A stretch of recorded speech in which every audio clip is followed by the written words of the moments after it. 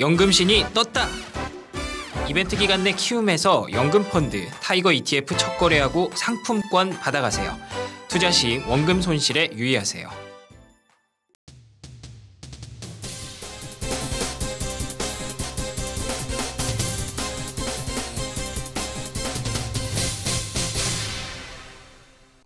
Today Small Cap입니다. 자, 오늘은 박재일 연구원 모시고 NHN 한국 사이버 결제 살펴보도록 하겠습니다. 어서 오십시오. 안녕하세요. 어, 이 NHN 한국 사이버 결제는 어, 차트를 보니까. 어, 뭐 오히려 신고가를 기록하고 아, 그런 모습을 보여주고 있는데 대단하네요. 이게 네. 언택트 관련주로 아, 좀 예, 분류되는 맞습니다. 모양이죠. 네네. 자, 그럼 하나씩 살펴보도록 하죠. 일단 회사는 어떤 회사입니까?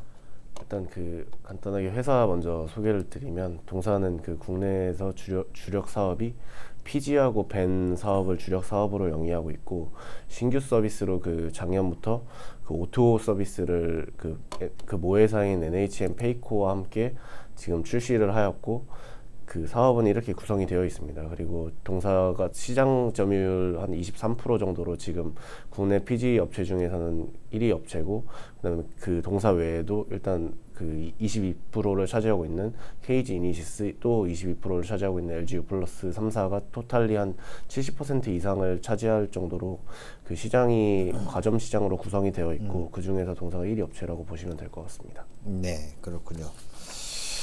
자, 이 그 이, 결국은 이제 오- 온라인 쇼핑 결제를 하는 네네. 건데 네. 이제 결국은 이제 그 결제액이 중요한 거죠. 아, 예, 맞습니다. 예, 결제액들은 어떤 저기 그저 추세를 보이고 있나요? 네네.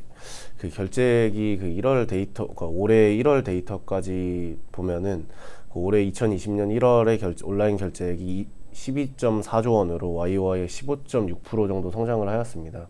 그 이유는 다들 잘 아시다시피 코로나19로 인해서 그 비대면 소비가 증가함에 따라 온라인 소비가 증가를 하였고 이에 따라서 그 시장 자체 그 월 결제액이 성, 성장을 한 두 자릿수로 성장을 하였습니다. 2월 2월 같은 경우에는 그 2월 그 달만 보면은 그월 월 2월 달 그 최고치를 경신을 하였고 그리고 3월에도 이와 같은 추세를 지금 유지를 하고 있고 이, 이와 같은 추세로 봤을 때는 그 올해 그 전체적으로 그 온라인 결제 대금이 20% 이상 성장할 것으로 좀 전망을 하고 있고 그리고 이 결제 대금 성장에 따라서 동사가 수혜를 볼 것으로 전망을 하는 이유는 그 동사의 주요 고객사가 그 쿠팡과 지마켓 그 11번가 등 온라인 그 주요 이커머스 업체들입니다.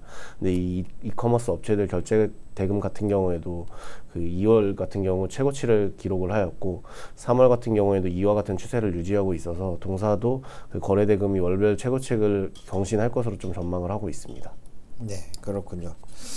자, 그리고 또 좀 살펴볼 내용들이 있다면 어떤 게 있을까요?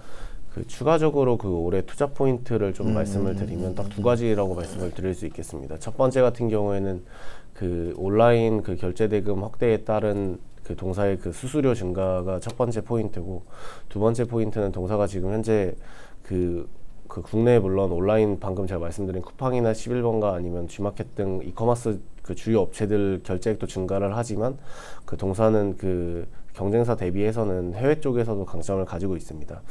그 동사가 작년 같은 경우에는 지금 애플 그 App Store의 그 마스터 PG사로 선정이 되면서 작년 하반기부터 애플향 매출이 발생을 하였고 이게 올해부터 온기 반영됨에 따라서 해외 쪽도 성장을 두 자릿수 그러니까 15% 이상으로 좀 성장을 할 것으로 전망을 하고 있고 그리고 애플 외에도 지금 현재 작년에 뭐 테슬라 모터스 아니면 우버이츠 등 글로벌 업체들과 이제 직접적인 계약을 통해서 동사의 reference를 확보를 하였고 이러한 그 확보된 reference를 가지고 올해도 추가적으로 글로벌 업체하고 지금 현재 계약을 앞두고 있, 있는 상황입니다. 근데 지금 코로나19로 인해서 이러한 게 약간 delay가 되긴 하지만 하반기에 추가적인 계약이 또 나올 것으로 전망을 하고 있고 이렇게 그 지속적인 해외 가맹점 확대에 따른 그 동사의 결제 대금 증가로 인해서 동사의 설적 그 실적 같은 경우에는 그 우상향을 지속될 것으로 좀 전망을 하고 있습니다. 음. 그리고 또 그두두 번째 포인트는 그 공격적인 O2O 서비스 확대입니다. 그 O2O 서비스는 제가 앞서 말씀드렸듯이 그 모회사인 NHN 페이코하고 지금 작년에 출시를 하였고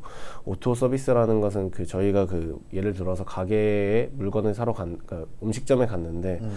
요새는 음식점에 그 QR 코드라고 테이블 보시면은 있는 데가 은, 있는 음식점이 있습니다. 그 QR 코드로 모바일을 모바일로 QR 코드를 인식을 해서 주문부터 결제까지 하는 서비스인데 어. 그 가맹점주 입장에서는 이게 그 인건비 를 그러니까 QR 코드가 적용이 되면 일단 그 인건 인건비를 줄일 수 있어서 약간 QR 코드를 적용해 나가는 추세고 소비자들 입장에서도 그 테이블에 앉아서 주문부터 결제까지 가능해지기 때문에 그 편리함에 따라서 많이들 사용하시는 추세입니다.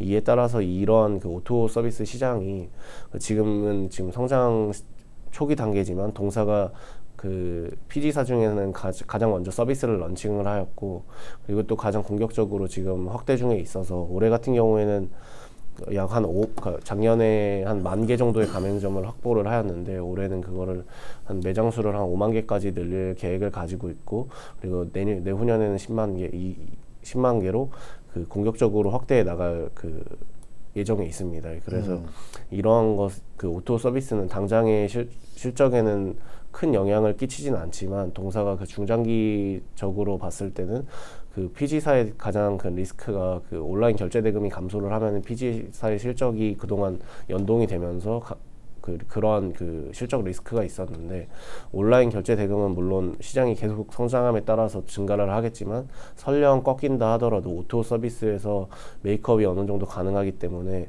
중장기적으로 봤을 때는 동사의 그 모멘텀이 될 것으로 좀 판단을 하고 있습니다. 음. 이 QR 코드 가지고 이렇게 하는 거는 보면 이제 젊은 사람들은 쉽게 쉽게 하잖아요. 아, 예, 맞습니다. 네. 근데 우리 정도만 돼도 네네. 조금 이제 부담스러운 게 있어요. 아, 네, 맞습니다. 왜냐면 이게 네. 그잘 예. 써보질 않다 보니까 그래서 이게 지금 막 확대 단계인데 아직은 시장이 그렇게 크진 않지만 그래도 약간 젊은 그 소비자층 위주로 확대해 나갈 그 것으로 보여짐에 따라서 시장 같은 경우에는 뭐 나중에는 성장할 것으로 좀 판단을 하고 있습니다. 그렇죠. 뭐 사실 생각해 보면은 그 밥 먹고 난 다음에 네네. 그, 그 줄, 줄 서서 이제 카드 긁고 하는 아, 네. 것보다는 여기서 그냥. 바로바로 해버리면 네네. 나을 것 같기도 한- 한데. 네네. 네.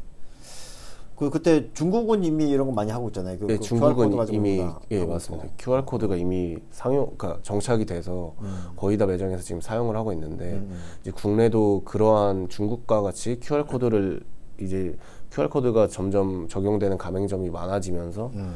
그러, 그러한 시장이 성장할 것으로 좀 판단을 하고 있어서 동사가 이러한 시- QR 그 O2O 서비스 시장이 성장을 하면은 수혜를 받을 것으로 판단을 하고 있습니다. 그러니까 이제 그이 결제하는 이제 그, 이- 그 단계가 있는데 네네.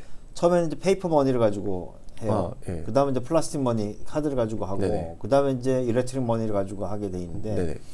우리는 이제 워낙 이제 plastic money에 저기 그 이제 익숙해져 아, 있는 맞습니다. 단계고. 중국은 paper money에서 바로 저기 그 아, 예. 그뭐 전자결제로 네네. 넘어가니까 네. 사람들이 거부감이 별로 없어요. 아. 우리는 이제 워낙 이거를 아, 많이 네네. 하다 보니까 그래서 약간 이게 예, 저항이 좀 있는 거죠. 예, 이제. 저항감이 있어서 시장이 지금 성, 초기 단계인데 음. 근데 이게 키오스크도 저희가 그 그러니까요. 이게 처음에는 사람들이 잘 이용을 안 했는데 아 너무 불편했어요. 왜냐면 가서 아줌마 김밥 하나 주세요라고 하면은 네네. 그 옛날에 나왔는데 네네. 그게 아니고 누르세요라고 하는 아, 거예요. 예, 그러니까 그, 맞습니다. 그 런 데 대한 이제 좀 저항감이 있었던 것 예, 같더라고요. 그, 그래서 이 QR 코드도 키오스크 초창기처럼 저항감은 있겠지만 중장기적으로 봤을 때는 시장은 성장한다고 좀 판단을 음. 하고 있습니다. 네. 사람이 또 한 번씩 두 번씩 해보면 또 익숙해지면 아, 또 네. 편리하죠. 네, 맞습니다. 네. 근데 이제 그 이 우리가 전자결제라든지 온라인 결제하는 회사가 이 회사만 있는 건 아니잖아요. 아, 예, 맞습니다. 네. 그 다른- KG 예. 이니시스나 뭐 LG U 플러스도 지금 그러니까요. 다른 회사하고의 차별점은 뭐예요? 차별점이 그 사실 이 동사 같은 경우에는 그 이 O2O 서비스가 PG하고 VAN 수수료를 같이 먹는 건데 음, 동사의 자회사 중에 VAN 1위 업체가 있습니다. 음. 근데 이게 물론 기술력의 차이는 KG 이니시스랑 큰 차이가 없지만 그래도 이게 동사가 좀 더 공격적으로 가맹점을 가져갈 수 있는 이유는 이미 오프라인 밴에서 자회사가 1위를 하고 있기 때문에 이미 확, 확보된 가맹점들이 있습니다.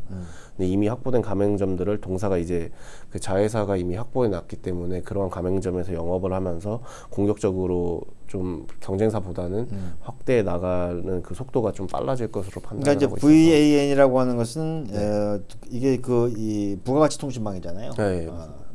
부가가치 통신망인데 이건 어- 그러면 깔아주고 여기 대한 네. 수수료를 받는 거예요? 예 맞습니다. 그러니까 그 저희 카드 리더기 아시잖아요. 네, 그 네, 네. 카드 리더기를 설치를 해주고 이 소비자가 결제를 했을 때 이 리더기를 통해서 결제를 했을 때이 리더기에 대한 그 수수료를 받는 개념으로 보시면 됩니다. 음, 음, 음, 음. 그렇군요. 자 지금 이제 어, 주가 움직임을 봐, 봐서도 그렇고 어, 실적이 당연히 따라오겠죠. 아, 예. 올해는 실적이 되게 좋아질 것으로 네. 좀 판단을 하고 있는데 그 실적을 좀 구체적으로 말씀을 드리면 그 올해 개인적으로 추정했을 때는 그 연결 기준으로 해서 매출액 5,520억 원, YOY 17.5% 성장할 것으로 전망을 하고 있고 영업이익 같은 경우에는 392억 원으로 YOY 22.1% 성장할 것으로 추정을 하고 있습니다. 물론 이 성장 포인트는 제가 다시 한번 그 요약을 드리면 첫 번째 같은 경우에는 그 언택트 소비 증가에 따른 온라인 결제액 증가로 인해서 그 동사가 실적의 성, 실적 성장을 견인을 할 것으로 보고 있고 두 번째 같은 경우에는 그 해외 가맹점 확대에 따라서 해외 쪽 그 온라인 결제 대금도 증가함에 따라서 실적이 어, 성장을 할 것으로 판단을 하고 있습니다. 물론 그 O2O 서비스 같은 경우에는 제가 중장기 성장 포인트로 말씀을 드렸지만 올해 물론 O2O 서비스를 추정을 하기에는 42억 원 정도 기록을 할 것으로 보여지고 YOY로 250% 정도 성장을 할 것으로 보여지고 있습니다. 그래서 이러한 그 복합적인 요인 때문에 동사가 그 코로나 일- 오히려 코로나 19의 동사는 그리고 약간 실적 타격을 받는다기보다는 온라인 그 소비가 증가함에 따라서 수혜를 받는다고 보시면 되고요.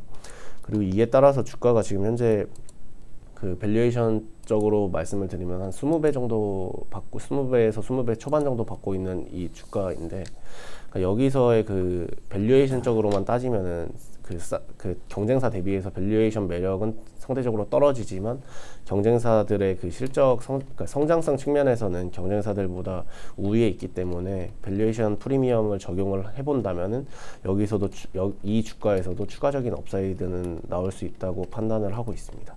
음, 그렇군요.